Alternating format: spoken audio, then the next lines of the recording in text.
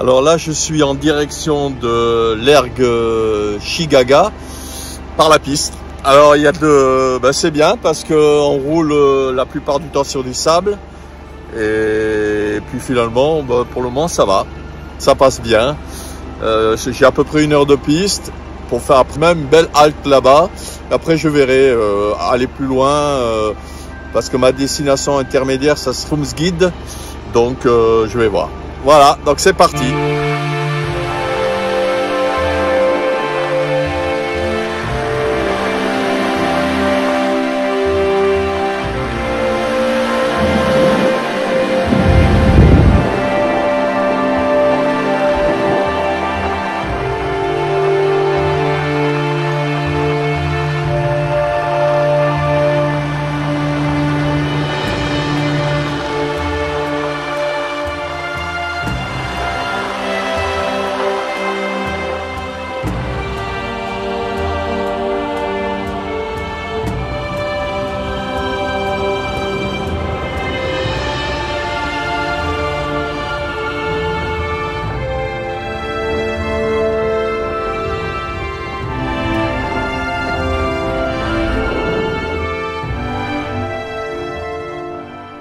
Je vais en direction de l'ergue Chigaga.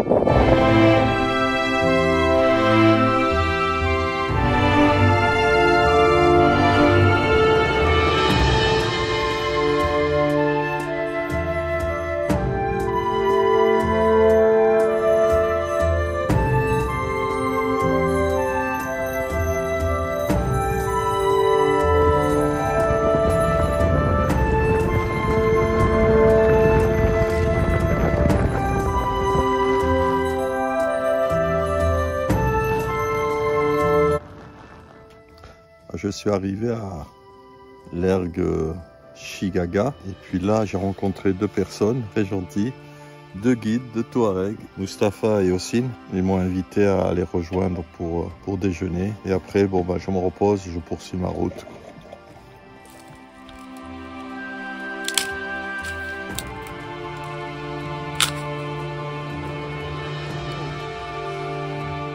S'est mis à l'ombre d'un de petits palmiers, mais il fait 36-37 degrés. Donc euh, une chaleur abominable. Mustapha et Ossine s'occupent de deux clients, deux clients allemands, voilà, qu'ils ont bien installés, euh, voilà. Et puis moi, j'ai sorti ma chaise pliante, je suis avec eux. Côté intendance, on partage un petit peu des choses, on boit un coup.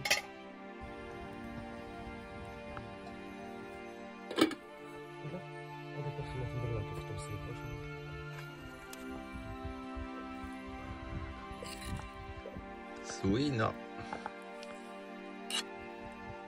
الشلاضة الزوينة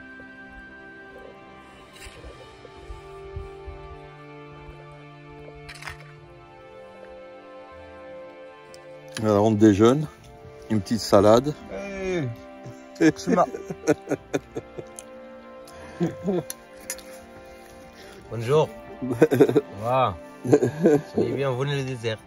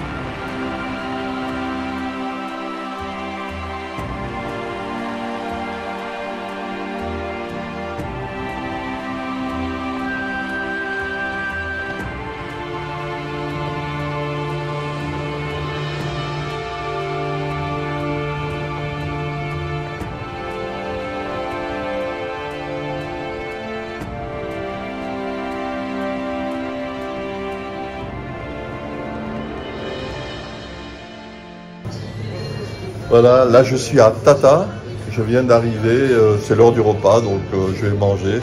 Surtout qu'hier soir, j'avais pas mangé grand chose. Et donc je suis parti ce matin euh. Voilà, c'était ce que j'avais trouvé au bout de la piste. Pris une bonne douche et tout. Et ce matin, donc j'ai pris la route pour Tata. Je viens d'y arriver.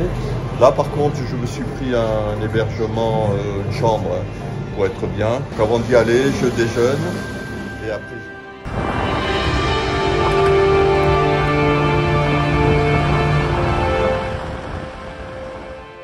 C'est tout vieux, mais c'est quoi ce truc? C'est un, un douar complètement à l'abandon, quoi. Regardez ça.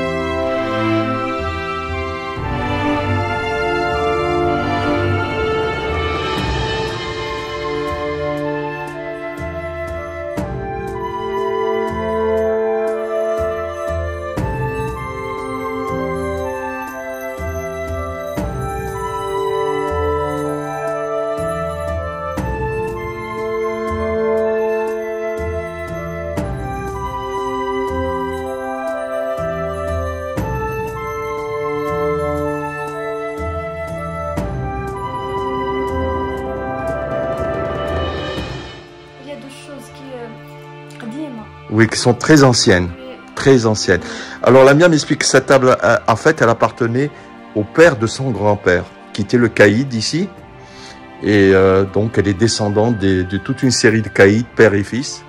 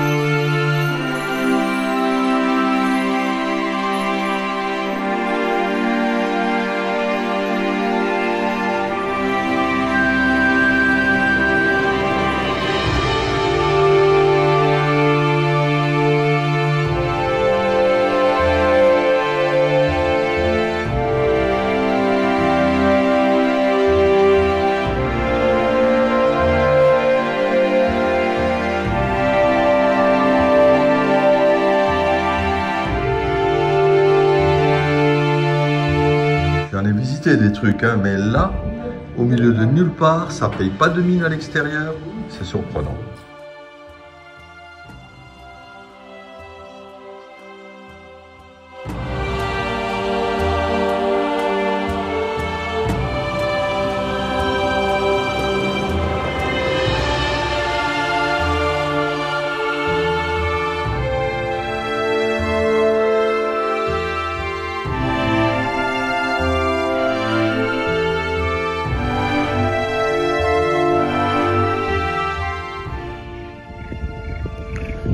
Très bien la, faune tout autour. Hein.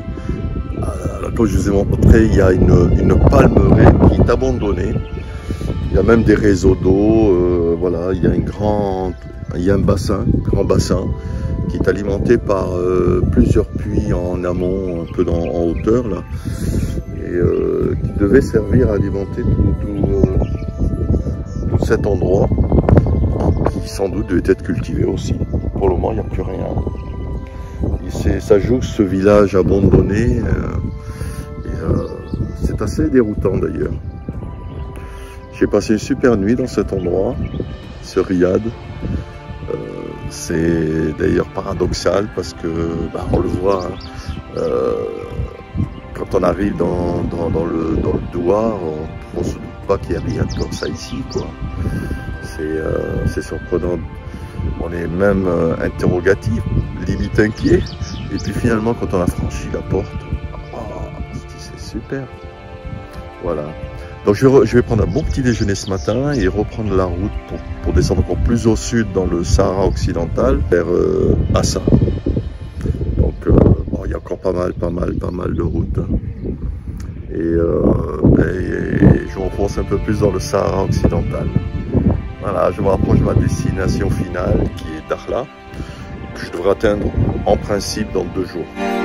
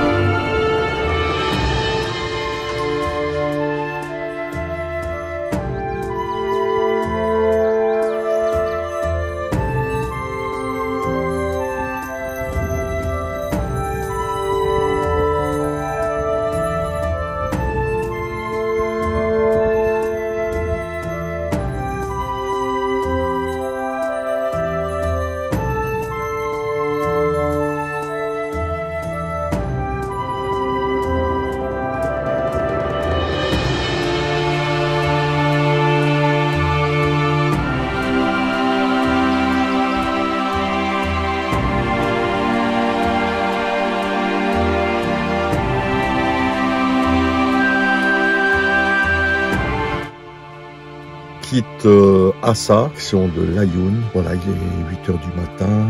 J'ai passé une super nuit calme. C'est une petite bourgade très tranquille, hein, euh, une, belle oasis. Il y a, beaucoup, de, vieilles ruines comme partout. Hein. Les gens ont déserté les, douars, tout ça un petit peu en terre cuite pour aller vers des habitations beaucoup plus récentes. Donc ils ont tout laissé et c'est assez, assez étonnant. Voilà, donc euh, en route pour Layoun.